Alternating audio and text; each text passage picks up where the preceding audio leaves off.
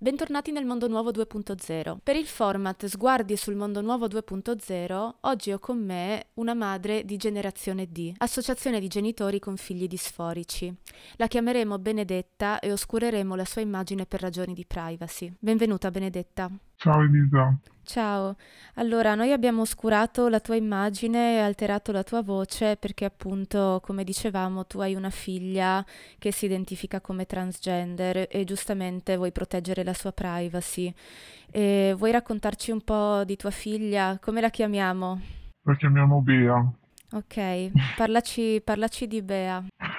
Allora, Bea eh, intanto si, si identifica come transgender da eh, più di un anno e mezzo, eh, quindi da quando non aveva ancora 13 anni. Era l'estate del 2021 e dopo i tanti lockdown e eh, un periodo di forte stress, forte ansia, era in cura da, da una psicologa per questi, questi, problemi, ha cominciato a parlare con me di disforia di genere buttandola lì come se fosse una cosa che non la riguardava e io ho cominciato ad avere dei campanelli d'allarme. Eh, purtroppo evidentemente lei deve aver usato i, i social network, l'accesso eh, giorno e notte, diciamo, del, del periodo del lockdown eh, per informarsi, cioè avrà visto insomma dei profili eh, e ha pensato che il suo essere tra virgolette diversa dalle, dalle sue compagne eh, fosse, fosse il fatto di essere un, un, maschio intrappolato in un corpo di, di femmina. E quindi è arrivata da noi, non ne ha voluto parlare con la sua psicologa, è arrivata da noi con questa bomba, diciamo. Sì, e aveva e, ehm, 13 anni, hai detto, quasi 13 anni. Aveva, doveva fare i 13 anni, sì, sì. Ok, quindi va alle medie in pratica, andava alle medie all'epoca. Andava alle medie, andava alle medie e purtroppo per il fatto del lockdown aveva perso, cioè diciamo che come se non ci fossero molto state queste medie, nel senso che da metà della prima e per tutta la seconda era un continuo chiudere la scuola, quindi ehm, e, e a quell'età lì non c'era, eh, diciamo, non era più infanzia, che si stava bene anche in famiglia e basta, eh, ma non, era ancora, eh, non c'erano ancora le capacità di comunicare tra um, compagni più di tanto anche in un altro modo. E quindi diciamo che io penso che lì mh, mm, purtroppo deve aver inco- incrociato dei profili che l'hanno molto affascinata e spinta verso questa convinzione, considerando che però eh, Bea mh, non è il classico, ormai diciamo classico anche se è un fenomeno molto nuovo perché eh, ho conosciuto tantissimi genitori ehm, di ragazzine che erano eh, molto femminili e poi di punto in bianco hanno quello, quel fenomeno che insomma si chiama ROGT, Rapid Onset Gender Dysphoria. Eh, diciamo che la mia a partire dai 4 anni ha cominciato a ribellarsi alle, a quello che erano le aspettative per una bambina. Eh, quindi se vogliamo anche che se non parlerei di disforia di genere nell'infanzia nel suo caso, però comunque c'era molto forte il desiderio di avere um, giochi più maschili, di, anche di far parte un po' della squadra dei maschi per poter scegliere lei, anche un po' di ambiguità non le dispiaceva, aveva i capelli lunghi, non ha mai avuto problemi col suo corpo, con eh, il suo nome però lei aveva insomma tante, era, era un maschiaccio. Mm-hmm. Il classico maschiaccio. maschiaccio. E, mm-hmm. Sì, sì, sì.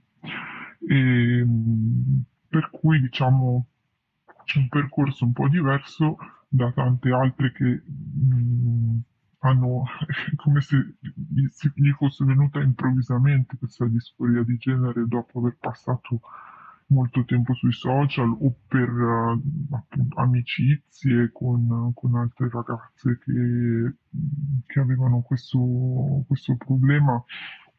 Nel nostro caso uh, io penso sia stato sicuramente uh, i social network aver visto questi profili di questi ragazzi giovani, molto belli, perché sono eh, sono ragazze che hanno cominciato da poco a fare la transizione, che vuol dire che si sono magari un pochino già gli ormoni, hanno un pochino modificato la distribuzione del grasso corporeo, magari hanno un pochino di barbetta o così, ma fondamentalmente sono delle, degli splendidi ventenni perché hanno viso con lineamenti femminili, eh, o comunque dei lineamenti dedicati e eh, il, problema, il problema è che quanto dura questa cosa qua. Sono contenti, si sono fatti un sacco di visibilità grazie a, a, questa decisione di um, sacrificare insomma un po' il loro corpo femminile per questa, questo desiderio di diventare maschi e eh, hanno raggiunto la popolarità grazie, grazie, a questo. E io penso che, appunto, l'ho già detto, mia figlia abbia, abbia pensato che allora era quello eh, per lei la possibilità di avere una, il suo spazio nel mondo di oggi e in effetti eh, quello che è successo d'estate quando lei ci ha parlato e io avevo ingenuamente paura, visto che non si fa che leggere di eh, discriminazione, eh, avevo paura che sarebbe stata bullizzata, avevo paura che sarebbe successo qualcosa, che l'avrebbero presa in giro, insomma. Ehm, invece, ehm, quando è tornata a scuola, che si era tagliati i capelli, è stata una rinascita per lei, nel senso, anzi per lui, perché eh, improvvisamente è come se tutto il mondo si fosse accorto di questa persona, eh, mentre prima era mh, mm, una ragazza mh, mm, non bella non brutta, non, cioè per me è bellissima ovviamente, anzi è bellissima, però non è appariscente. Um, non bravissima a scuola, non, non però problematica.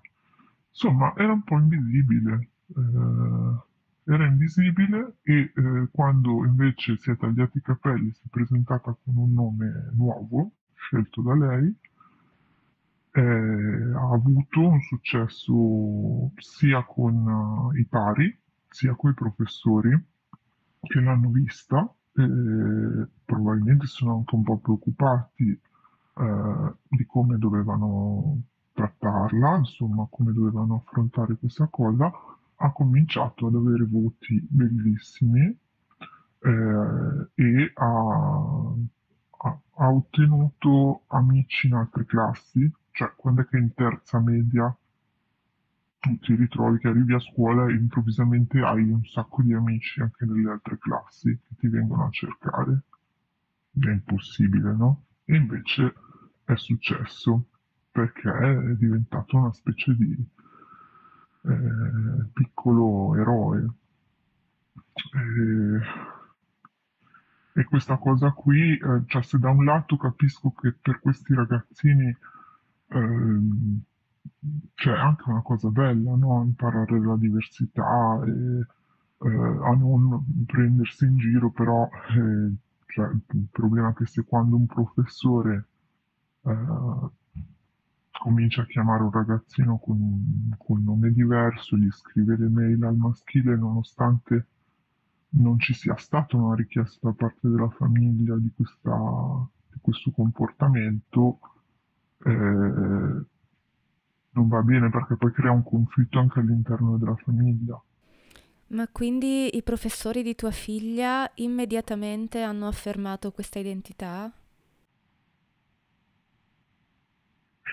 Allora, no- non- di fatto lei piano piano ha cominciato a parlare con i professori che le piacevano di più, a confidarsi, a confidare questa sua volontà di essere chiamata al maschile.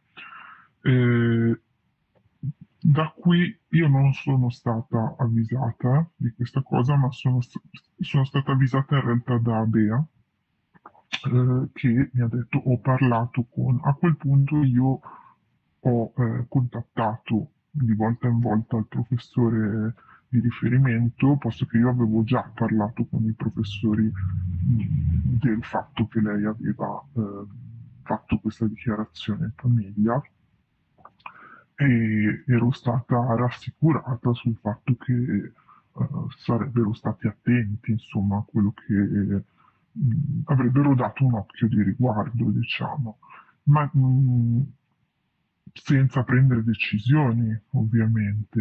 Eh, quando poi eh, lei mi ha parlato delle, delle loro discussioni, io ho parlato con questi professori e lì dipende caso per caso, diciamo che mi ricordo questo professore con cui ho parlato, lui era tutto un sì certo, sì certo, sì certo, dopo un mese eh, scriveva le mail che io leggevo perché le avevo sul mio telefono, le mail della scuola di, di mia figlia.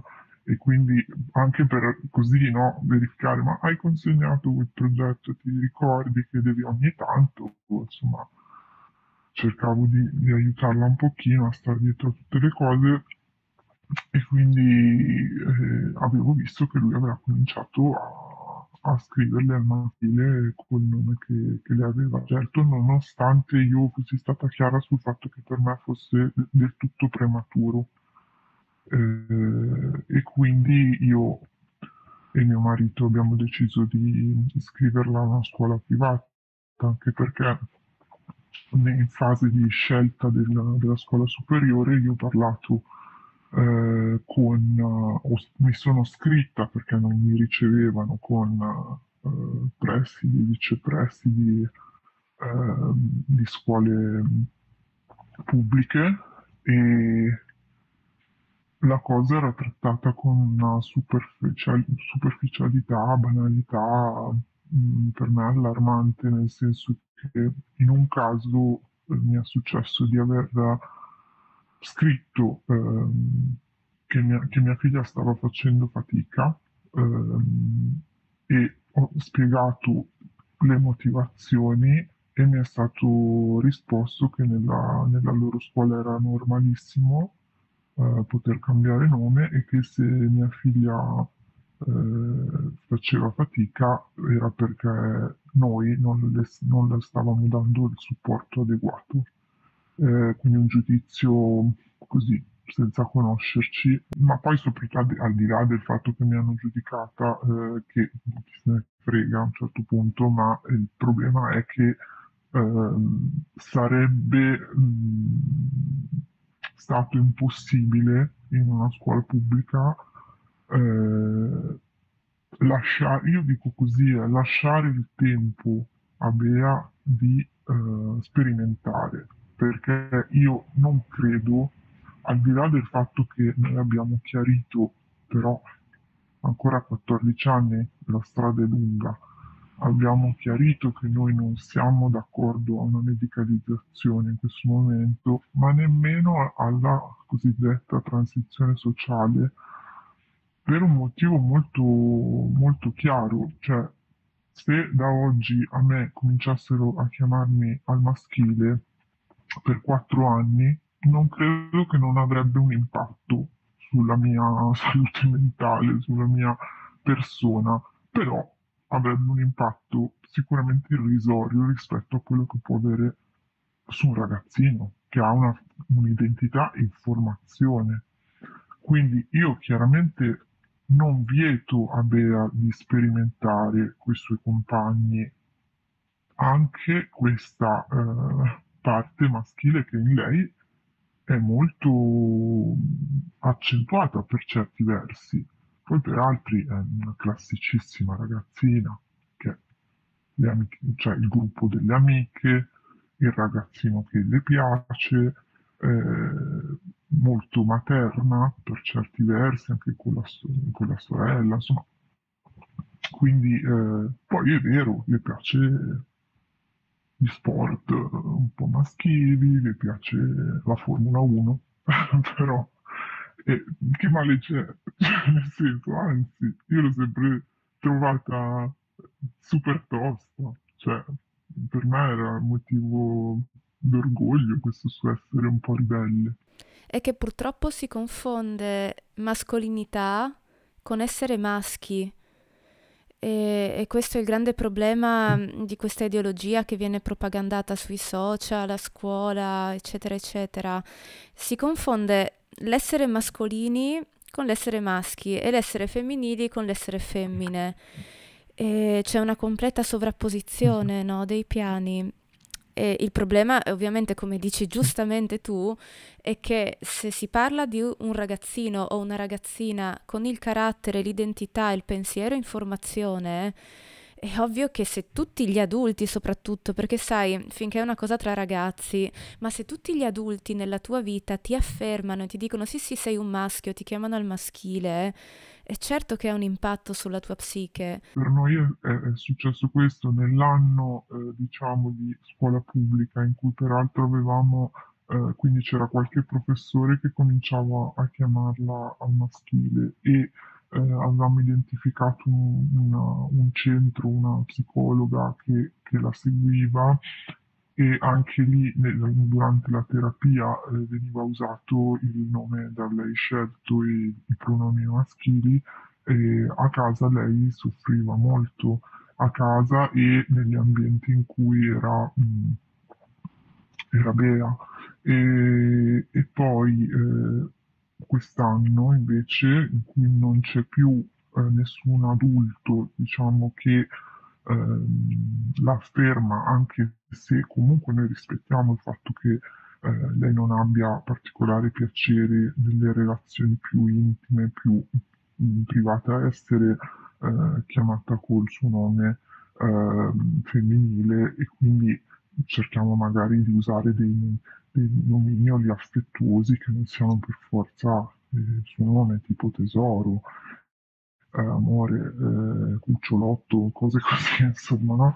Ehm, però quest'anno eh, lei è, cam- cioè, è cambiata tanto, è, si è rasserenata moltissimo, eh, con i suoi amici continua a essere, a, a volersi presentare, e anche col mondo soprattutto, lei si sente molto più serena, più tranquilla a presentarsi come maschio, più protetta si sente. Io dico che è come un'armatura che mette su. Sì, e la creazione di una nuova identità, quante volte abbiamo voluto, magari sempre da ragazzini, da adolescenti, io me lo ricordo, ricominciare da capo, sembrava sempre una prospettiva, come dire, una prospettiva ottimale, no? Quando si sta male, quando non ci si sente compresi, quando si è soli, quando ci si sente diversi si tende un po' magari a voler ricominciare da capo, no? Una nuova identità, una nuova, mm. un nuovo taglio di capelli, come hai detto tu, si è sentita bene, se le persone si riferiscono a lei in un certo modo si sente meglio. E come dici tu, una sì. maschera, no? Solo che 14 anni, voglio dire, se io penso a come ero a 14 anni, cioè ness- come eravamo tutti a 14 anni, nessun adulto dovrebbe validare queste fasi, perché sono fasi, si mm. passano delle fasi, specialmente se come dici tu si tratta di una ragazzina che era invisibile. Io mi ci identifico molto in, in questa descrizione quando avevo 12-13 anni, quello che è. E capisco, infatti io non sono mai stata mascolina, non ho mai avuto, eh, non sono mai stata un maschiaccio come altre mie amiche ad esempio, però capisco la sensazione di sentirsi soli, incompresi, non accettati, non, non, amati no, dai pari, perché i genitori è ovvio che ti amano, ma i pari mm, non, non ti senti compresa, ti senti diversa, no? E adesso abbiamo una, un'ideologia, una propaganda che ti dice ecco, assumi questa nuova identità. Tutti i tuoi problemi svaniranno quando, quando lo farai, no? Che all'inizio è vero, peraltro, all'inizio è vero, a loro sembra così. E non vedono gli effetti collaterali, non, non hanno un'idea. Cioè, se se vai a vedere eh, questi ragazzini appunto di cui parlavamo, questi ventenni che hanno cominciato da poco, che sono super belli, che spesso stanno con, hanno delle fidanzate, quindi in qualche modo hanno trovato il modo di normalizzare la loro omosessualità, l'essere lesbiche, eh, e loro li vedono, hanno delle vite bellissime su Instagram, TikTok e così, però se vai a vedere un uomo, cioè un uomo, sì, un uomo diciamo F2M eh, di, di un'età più adulta, spesso tu vedi dei corpi che non sono proprio, cioè nel senso vedi delle persone che non hanno più capelli, che, che hanno, che sono eh, appesantite, eh, cioè, per non parlare poi delle problematiche eh, anche proprio di salute e eh, chi, chi lo sa della loro vita sessuale, insomma, diciamo, e, relazionale, della possibilità anche di, di farsi una famiglia, insomma, sono tutte cose che sono un po' un punto di domanda grosso. Certo, tu hai menzionato la psicologa da cui è andata tua Mm. figlia, che subito ha cominciato a chiamarla con, eh, con il nome scelto e con i pronomi maschili, quindi eh, a tutti gli effetti ha adottato l'approccio affermativo fin da subito. In teoria no, cioè, mm, dal punto di vista del nome sì, però a noi aveva spiegato che era un po' una necessità per il fatto che altrimenti la ragazza non si sarebbe aperta eh, e quindi non si sarebbe creata una, una relazione. Quindi noi l'avevamo un po' presa come una strategia, se vogliamo, no, per cercare di, mh, appunto, di, di creare un contatto, ma mh, io penso che un pochino sia stata, mh, cioè, di sicuro questa persona era molto cauta, nel senso non, infatti non ci ha consigliato di andare in un centro per la, per la disforia, eh, però eh, la perplessità poi ci è venuta quando, eh, andando noi a parlare con questa professionista, eh, al di là del fatto che chiamava Bea col nome scelto, i pronomi maschili, l'ha fatto anche con noi eh, in assenza di nostra figlia, eh, ha parlato di, mm, come, come di un maschio. E lì eh, è come se Bea l'avesse convinta di essere un maschio nei pochi mesi che sono passati da quando noi abbiamo fatto 3-4 colloqui di un'ora e passa per conoscere e c'era, insomma, questa professionista c'era sembrata molto seria, molto cauta e poi dopo boh, tre mesi ci siamo trovati invece una, una persona che ci ha detto che ci ha, ci ha parlato di, di un figlio, non di una figlia. E quindi lì non abbiamo capito perché, come se avesse cambiato idea, non lo so. Capisco. E tua figlia ha visto solo questa psicologa, non ne ha visti altri?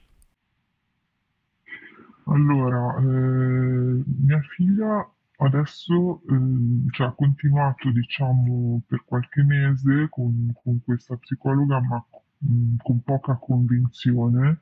Ehm, diciamo che dopo questo episodio noi abbiamo permesso solo che facessero dei test di personalità eh, e poi c'è stata l'estate, quindi si è perso no, un po' questo rapporto, poi lei non ha più voluto continuare la psicoterapia per il momento perché eh, sta bene, fortunatamente, cioè è serena e va bene a scuola, mh, è un buon momento. E te lo chiedo, quando lei per la prima volta ha detto a te a tuo marito che si identificava come un maschio, quanto conoscevi del fenomeno transgender all'estero?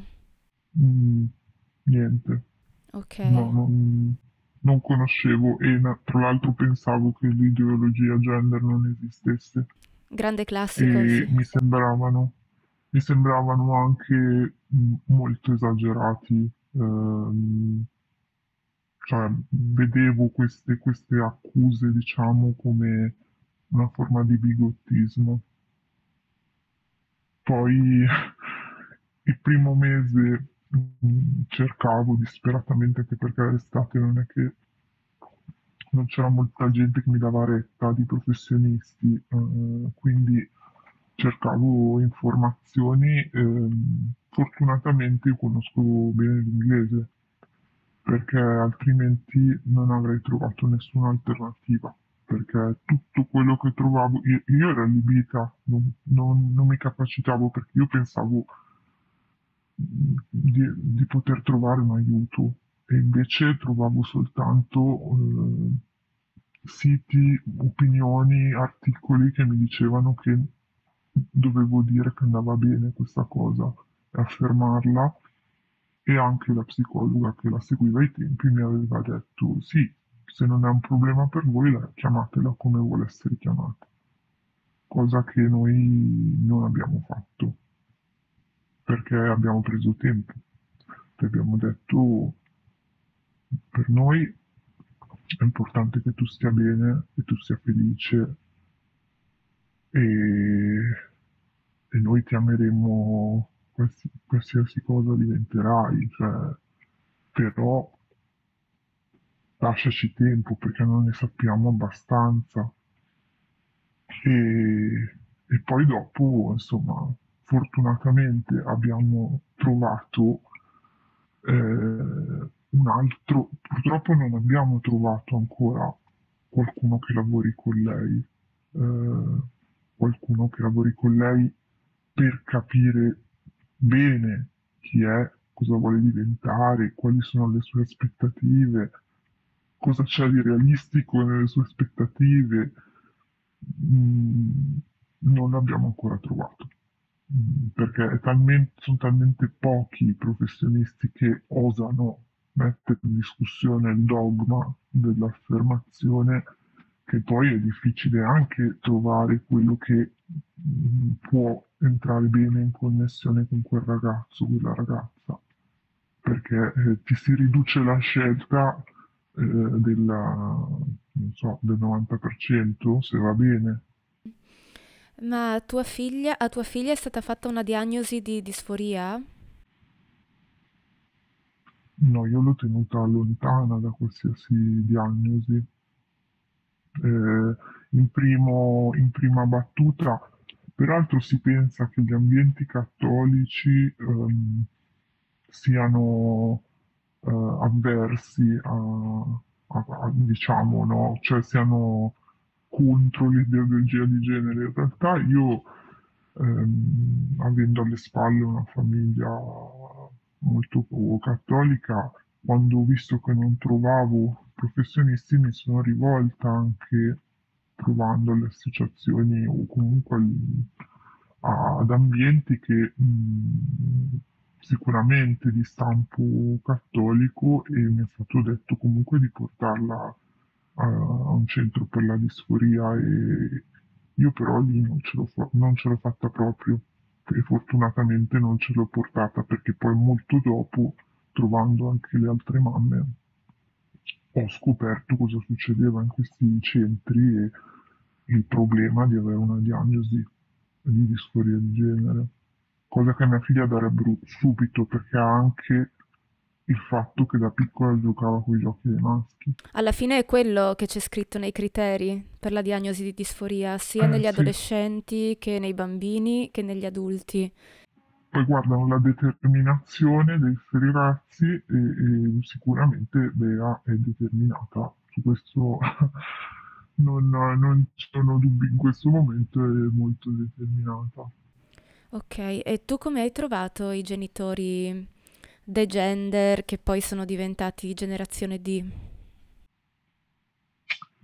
Allora, gli altri genitori io ho cominciato a, a entrare in contatto con loro eh, tramite un'associazione internazionale che si chiama Genspect, eh, a cui mi ero rivolta per cercare aiuto, ma per molti mesi non ho trovato nessuno eh, in Italia, quindi mh, mi riferivo praticamente al mondo, però io cercavo principalmente professionisti per aiutarmi, medici o psicologi, eh, ma non, non trovavo niente. A un certo punto sono riusciti loro a mettere in contatto alcuni genitori e, e da lì eh, siamo, siamo partiti a, eh, abbiamo deciso di fare quello di cui avremmo avuto bisogno noi, ovvero un'informazione ehm, in italiano eh, su quello che stava succedendo e un'alternativa,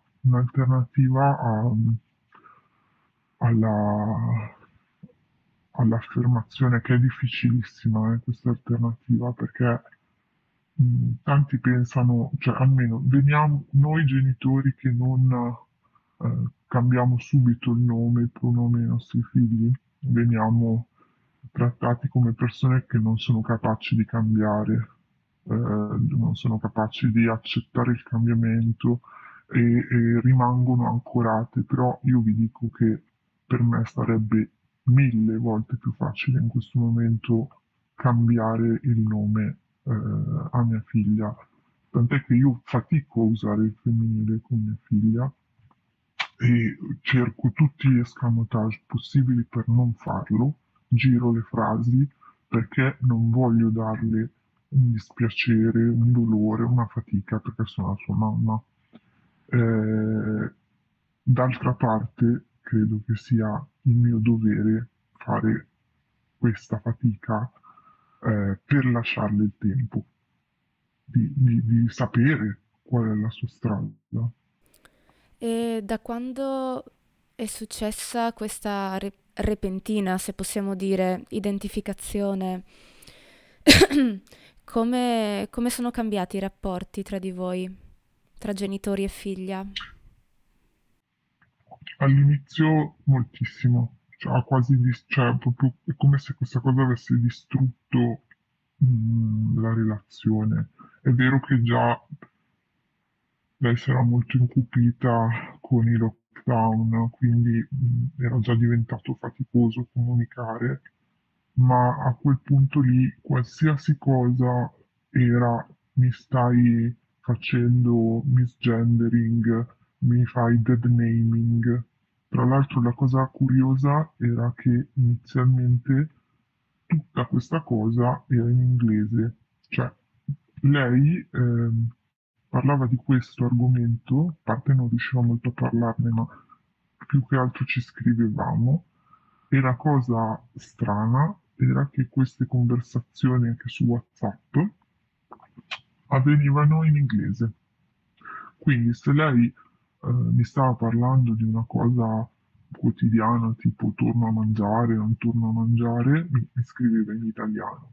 Se invece parlavamo di, del, della sua identità di genere, insomma, dei suoi pensieri più profondi, parlavamo in inglese. A me questa cosa eh, ha, fatto pensare che comunque un bel indottrinamento ci sia stato a livello di, di social network eh, su, su, su, questa tematica, insomma.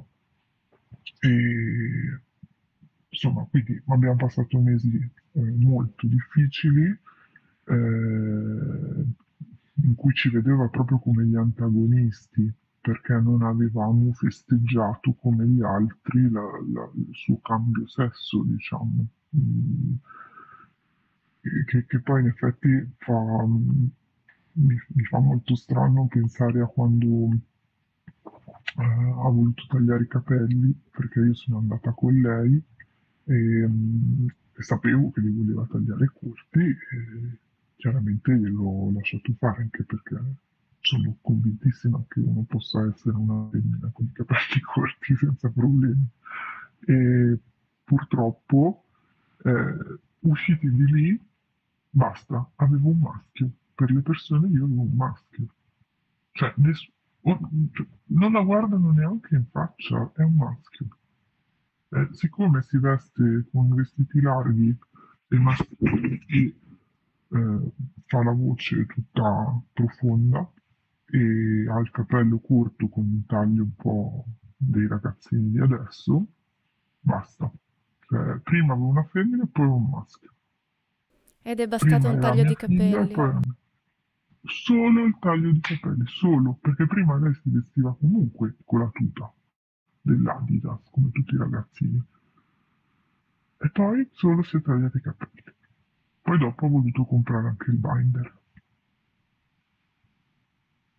E tra l'altro, ora questa è una cosa recente,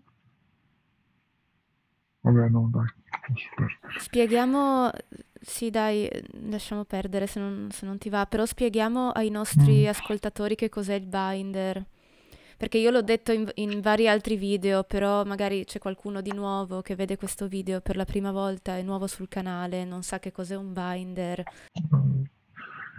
Il binder ha un corpetto eh, contenitivo eh, per appiattire il seno e, mm, che loro, queste ragazzine, eh, trovano su- sui social eh, i link per andare sui siti a comprarli e sono sponsorizzati dai, dai ragazzi trans ehm, che fanno proprio delle collaborazioni o hanno i loro prodotti che, che sponsorizzano e praticamente eh, sponsorizzano, cioè vendono questi, questi binder, loro sono o appunto o i testimonial o addirittura ancora più, più organizzati per cui si sono fatti il loro sito e, e fanno anche le spedizioni segrete eh, in modo che mamma e papà non se ne accorgano. Io eh, la prima volta che mi ha chiesto il binder ho detto di no, che non, che non l'avremmo preso, che saremmo andati magari in un negozio sportivo a prendere eh, dei, dei, reggi- dei reggiseni sportivi eh, che fossero eh, comunque un po' contenitivi, eh, ma che non ero d'accordo sull'utilizzo di questo dispositivo ehm, che dovrebbe essere un dispositivo medico forse perché eh, di fatto ha delle conseguenze anche sul fisico, ehm, però lei aveva già mm, un piano su come acquistarlo, eh, un piano che secondo me a 13 anni appena fatti era stato ben studiato anche da qualcun altro nel senso che doveva raccimolare i soldi, rubacchiando di qua e di là, facendo una colletta tra gli amici e poi comprarsi una prepagata e poi appunto questi siti ti offrono una, una- la spedizione anonima, adesso non, non so bene, comunque ti garantiscono la privacy e quindi insomma ci siamo ritrovati, ovviamente io mi sono accorta di tutto, non è che non, cioè, a, a 13 anni non è che non ti accorgi. L'ho seguita in questa cosa e poi quando l'ho, ho fatto il momento in cui l'ho beccata così, non ho avuto cuore di, di toglierglielo, forse ho sbagliato, però non, non ho avuto cuore di toglierglielo e e niente, da lì lo, lo mette sempre. Nel suo caso, siccome non ha un seno importante, eh, non è mh, particolarmente problematico, nel senso che non è che soffoca o così. Però comunque sta molto goppa e questo è un problema poi per anche mh, vabbè, insomma, per, per il suo fisico, per la sua muscolatura. Ehm, insomma, sono tutte cose che Vabbè, queste magari non sono gravissime come altre che eh, ci si prospettano o comunque a cui non possiamo non pensare, visto che nostra figlia ha come sogno di diventare un maschio, che vuol dire che sogna di amputarsi il seno. Eh, quindi per noi, insomma, la gobba non è un gran problema, però, però in realtà mh, anche questo. E anche il fatto di, sì, di nascondersi. È molto doloroso, cioè è veramente molto doloroso per, per i genitori, ma anche per loro. Cioè, è proprio, è proprio una cosa dolorosa e siamo molto da soli. Eh, nessuno, e dobbiamo anche stare attenti. Eh, quando li portiamo dal medico, non abbiamo il supporto, il sostegno dell'altro adulto. Non ce l'abbiamo praticamente mai, che sia un educatore, che sia un insegnante, che sia un medico, eh, dobbiamo guardarci dagli altri adulti. Capisco, e questo è gravissimo secondo me.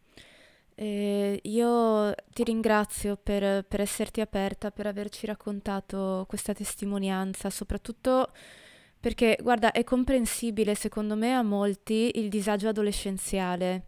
Non è concepibile, secondo me, a molti il fatto che gli adulti, i professionisti, le- gli adulti di riferimento di cui un, un ragazzino necessariamente si fida, psicologi, medici, insegnanti, non è concepibile che si pieghino a un'identità dichiarata che tutti sanno che tua figlia non è un maschio, tutti lo sanno che è una femmina, lo sanno tutti. E questo secondo me è vergognoso, è una piaga sociale, io lo dico perché credo che stiamo veramente rovinando una generazione di ragazzini e soprattutto ragazzine. Io te lo chiedo, io lo so già, mm, mm, diciamolo per chi ci ascolta, nel gruppo di genitori di cui fai parte, quanti hanno figlie femmine con questa problematica, in, in proporzione più o meno? La stragrande maggioranza, direi 9 su 10. Io te lo dico, tutti gli insegnanti che si rivolgono a me raccontandomi che hanno eh, alunni che si identificano come transgender o come non binary, mi dicono lo stesso numero, 9 su 10. E se andiamo a vedere all'estero, io ci ho fatto il video sulla ROGD, ROGD, come la vogliamo chiamare, sulla disforia esordio rapido nelle adolescenti, però eh, insomma ci sono, ci sono, un sacco di documentari che, che, si possono consultare, se uno sa l'inglese e sa dove cercare, tra l'altro, il trend è lo stesso, 9 su 10. Ed è... Uh-huh. Mi sembra assurdo che chi sta dall'altra parte della barricata, mettiamolo così, tra virgolette, insomma, chi sostiene questa ideologia, non si ponga questo problema. Anche perché se pensiamo alla disforia di mm. genere storicamente, quindi da, da, da cent'anni più o meno che viene inquadrata come un fenomeno specifico, um, se ci pensiamo è sempre stato un fenomeno quasi totalmente maschile. Perché nessuno si rende conto che qui siamo di fronte a un fenomeno diverso? Dove erano negli anni scorsi, nei decenni, nei secoli scorsi? Dove erano tutte queste ragazzine disforiche? E eh, se crediamo a loro, se crediamo alla retorica dei suicidi, se non mi affermi, se non mi fai fare la transizione, starò talmente male che mi suicido, dove erano tutti i suicidi di queste ragazzine disforiche? Hai ragione. Hai ragione, io mh, penso che un, un grosso problema sia che c'è un fra- fraintendimento, cioè la maggioranza delle persone, eh, e, forse, e l'avrei fatto anch'io prima di finire in questa, eh, in questa storia, eh, pensano che ehm, siccome ehm, i genitori sono d'accordo, cioè sto parlando degli adolescenti che iniziano un percorso di transizione, sono d'accordo gli insegnanti, sono d'accordo gli psicologi, sono d'accordo i medici, sono d'accordo i genitori. Chi sono io per dire che quel ragazzino non ha bisogno di quello. Il problema è che i genitori semplicemente non hanno alternative e meni- meno ehm, mezzi hanno economici per fare terapie privatamente eh, e culturali per andare a informarsi anche all'estero, eh, più sono obbligati a fare questo percorso, minacciati dal possibile suicidio del figlio. Il problema è che se è vero, allora questi ragazzini intanto quasi sempre hanno anche delle altre problematiche eh, di salute mentale, eh, di fragilità. Um, quindi comunque mh, difficile distinguere se la loro diciamo, comportamento di autolesionismo e, e, eventuali minacce di suicidio siano correlate alla disforia piuttosto che ad altre problematiche.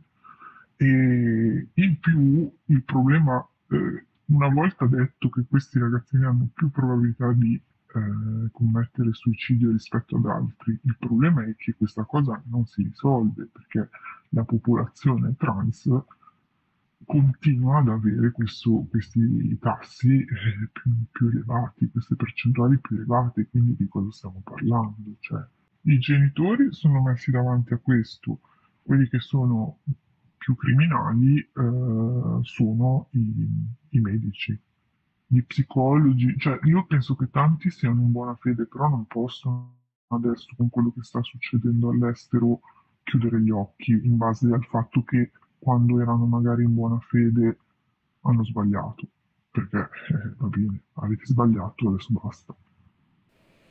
Io credo che la maggior parte di questi professionisti, tra l'altro, sia totalmente ignorante sul fenomeno, perché io ho parlato con alcuni psicologi, sono mosche bianche, però, però ci sono. Ho parlato con alcuni psicologi e psicoterapeuti che capiscono il problema, capiscono la portata del problema e mi dicono: Io sono esterrefatto a vedere i miei colleghi come, come si approcciano, non ne sanno niente, niente.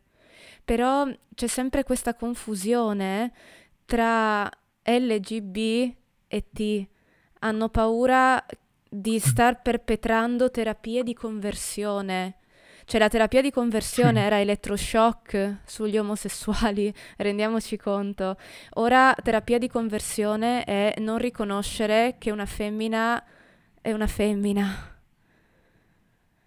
Mm, è, è, è pazzesco, è pazzesco. Questo è stato un po' pianificato a tavolino da chi ha fatto passare questa T eh, di trans, le persone la vedono come, come se fosse gay, cioè nel senso come se fosse un po' la stessa storia, un po' la stessa battaglia e prima di addentrarci, sì. Poi tra l'altro in Italia eh, io parlo sempre con i genitori perché poi alla fine secondo me è l'unico modo per per portare le persone a capire che dramma stiamo vivendo e devo dire che le persone quando ci parli e gli spieghi cosa sta succedendo capiscono.